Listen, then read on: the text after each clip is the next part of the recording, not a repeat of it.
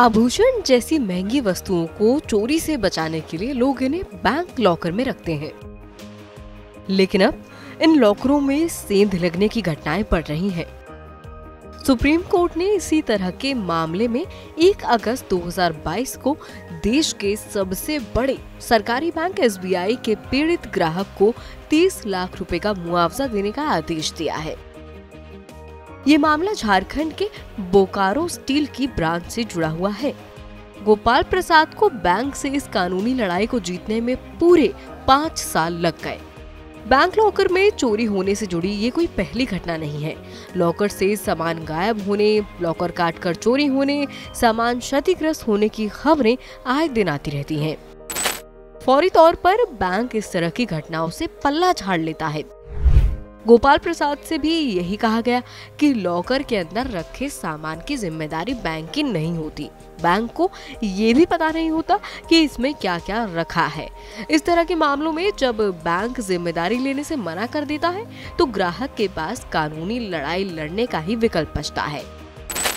लेकिन अब bank locker से सामान गायब या क्षतिग्रस्त होने के मामले में अपनी जवाबदेही से बच नहीं सकते। इस बारे में सुप्रीम कोर्ट के आदेश के बाद आरबीआई ने नए नियम जारी किए हैं, जो 1 जनवरी 2022 से लागू हैं। इन नियमों के मुताबिक आगजनी, चोरी, भवन ढहने या कर्मचारियों की धोखाधड़ी के मामले में बैंकों को लॉकर के वार्षिक किराए के 100 गुना तक के नुकसान की भरपाई करनी होगी आरबीआई ने लॉकर मैनेजमेंट को लेकर सभी बैंकों के लिए निर्देश जारी किए हैं नए निर्देश, मौजूदा लॉकर और बैंकों के पास वस्तुओं की सेफ़ कस्टडी दोनों पर लागू हैं।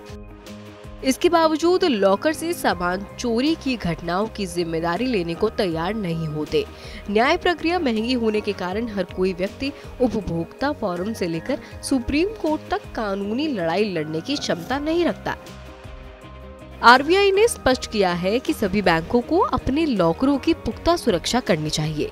इसके बावजूद लॉकर में से सामान गायब हो जाता है।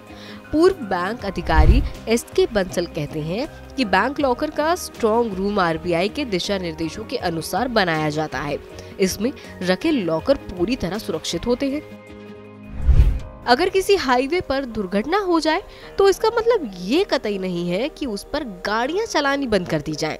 लॉकर से चोरी की कुछ घटनाओं के बाद ये नहीं मान लेना चाहिए कि बैंक लॉकर सुरक्षित ही नहीं है।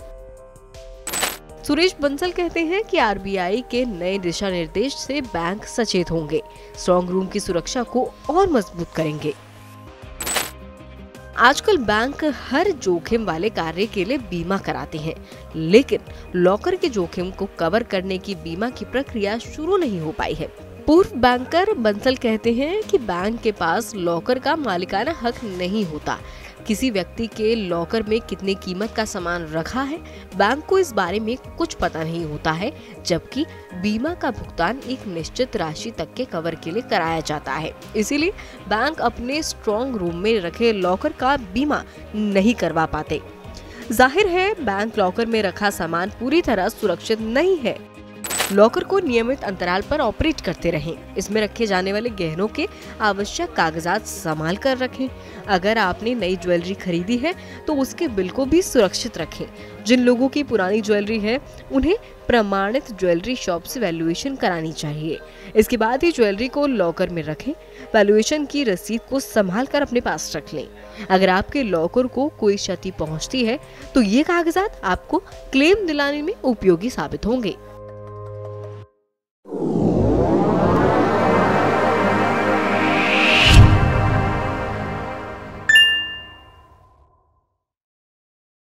बस ही कॉल कर सकती है आपको कंगाल।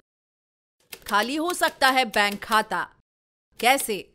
देखिए मेरे साथ, जागते रहो, सिर्फ़ मनी नाइन पर।